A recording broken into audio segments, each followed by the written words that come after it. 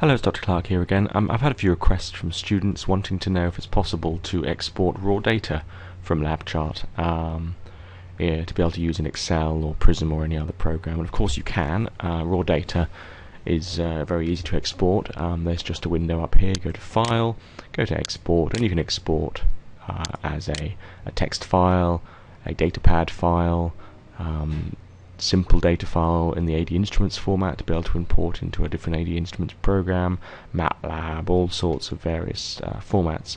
But for the purposes of this, um, what we want to do is we just want to export one channel. We've got uh, CO2 measurements here, respiratory CO2, and we've got the end tidal calculations uh, using the formula that I showed you in another tutorial.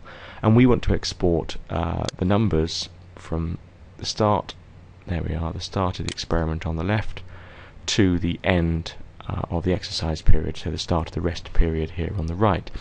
My recommendation here is actually uh, using LabChart or LabChart Reader to delete any of the data off the screen that you don't want to export. It just makes a life a lot easier. So in this case I'm just going to select from this point to the start of the file, hit the delete button and it says am I sure? Yeah, I'm not going to save it, so that's fine.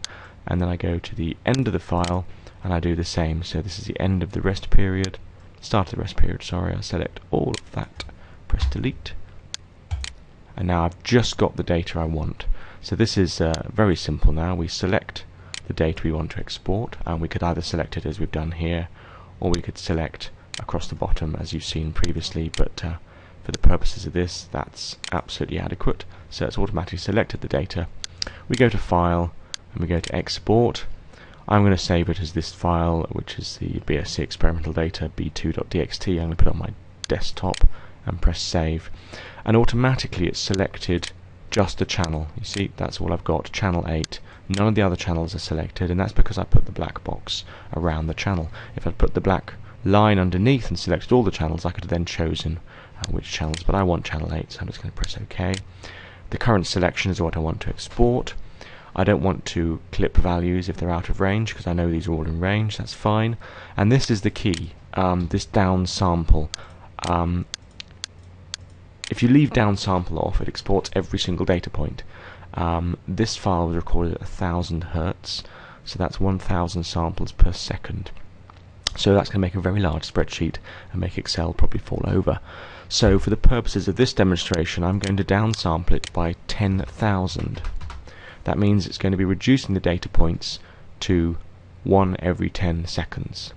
Okay, so that means that it's going to choose a point and a point and a point. This is very different from doing a bin, which we've done on the other experiments where we average 5 second increments over the time course. This is just choosing individual points, and this may be useful uh, to give a representation of the data. You may want to reduce it to just 1000 and then plot it, but I'm just going to choose 10,000 just to make the file a bit smaller to use in Excel. And you can choose whether you want to export the time, comments and event markers. Since I know that these data points will be every 10 seconds, I don't actually need to export the time, but I will do just to show you what it looks like.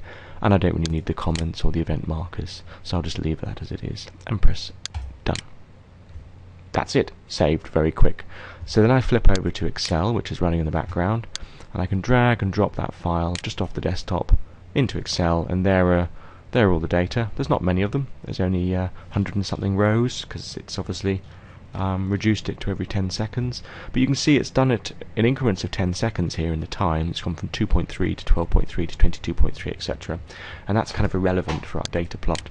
So I'm going to set that to 0 and this one to 10 because I know they're 10 second increments. Select these two and then ask it to expand the series down to the bottom. So just give that a little wiggle and that's going to go all the way down to the bottom.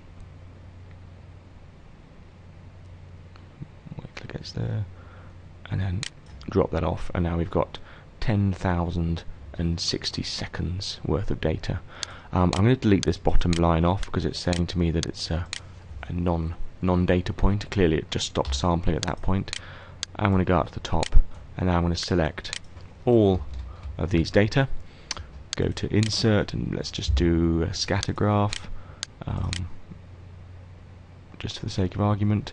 Excel has to think about it for a bit and there we are. It's plotted a scatter graph, get rid of him, uh, over the time course and you can see there's a an increment here. Of course, the scatter is showing the variation in the data, and we saw that in the LabChart data. There, the odd spike you can see um, all over the data set.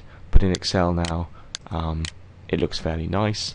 Of course, it's plotted it in this uh, gloriously horrible Excel format, and there's really not much uh, in this short period I'm going to do about that. I am going to change these to circles, given half the choice. Um, so I'm going to choose a circle, and I'm going to uh, can I change the color? Yes, I probably can, um, but I'm not going to bother. It doesn't seem to want to do that, so I'll leave that as it is. Now I've got circles; they look a little bit nicer. And then I'm just going to plot a, a, line of best fit, just because I can, uh, just to show that, those data. So, you know, this this could be um, this could be presented. Um, I don't know uh, what you'd want to use it for, but it's just an example Uh, I think that's just percentage because it's not formatted correctly, but there we are. So you get end tidal CO2, a linear relationship, and you can you could show those data. It's just a good way of showing off some raw data. Okay.